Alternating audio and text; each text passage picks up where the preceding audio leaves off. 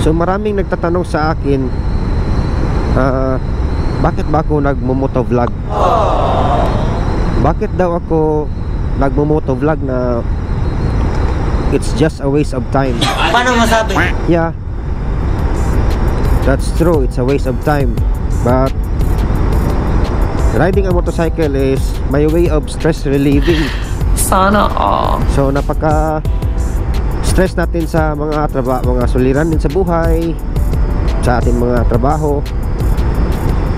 Stress tayo palagi araw-araw. Ito yung trabaho na magastos. Yung mga palaging kang magra-rides, mahilig kang mag-rides.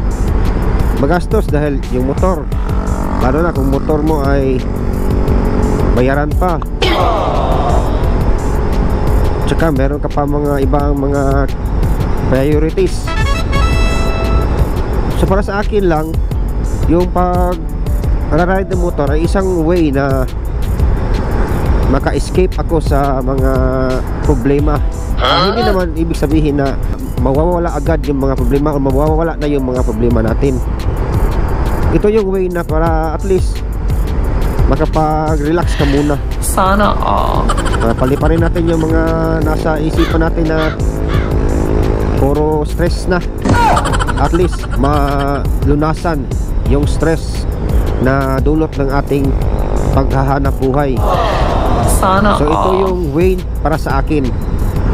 Ito yung paraan para at least ma-express ko yung sarili ko, ma-express ko sa ibang tao kung anong yung mga hilig ko tulad ng pupunta tayo sa mga iba't ibang lugar tapos magamit tayo ng mga iba't ibang klaseng motor nire-review natin. Kasi yung iba ang iniisip nila kapag nagmumotovlog ka o nagbablog ka ay target mo talaga is magkapera. Actually dati wala pa lang wala pa namang pera dito sa Facebook. Ah, hindi ko na lang iisipin na yung gastos na gina, ah, ginugugol ko sa pagmumotovlog. Dahil gusto ko lang naman i-express yung sarili ko dahil ito yung way na ma-relieve yung stress sa buhay. Ito yung sagot ko sa kung magtatanong kayo bakit ako magmumotovlog o bakit ko bakit ako nag-rides Diba gastos? Gastos yun kasi magra-rides ka, mahal ang gasolina ngayon. Finance pa yun ng motor. Pero hindi naman ito problema since hindi mo hindi mapapalitan yung kaligayahan mo. Kahit anong gawin ko o isipin ko, gusto ko talagang magmotor.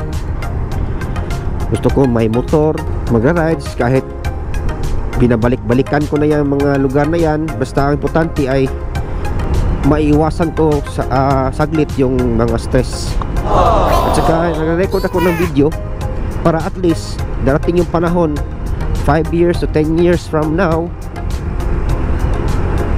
ay meron pa rin tayong memories na makikita.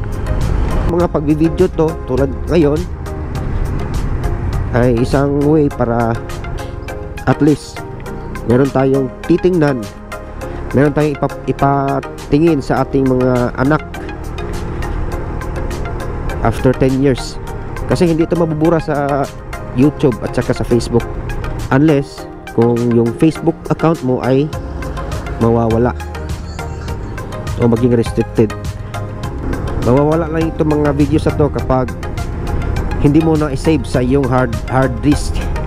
Or kapag yung hard disk mo ay nasira at saka yung Facebook account mo ay nawala or na-delete.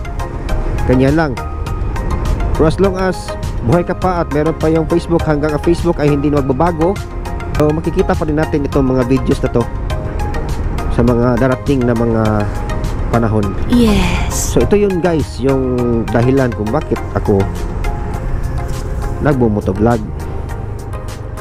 Hindi dahil para magkapera ako, kundi para ito sa sarili ko. Para sa memories, sa mga alaala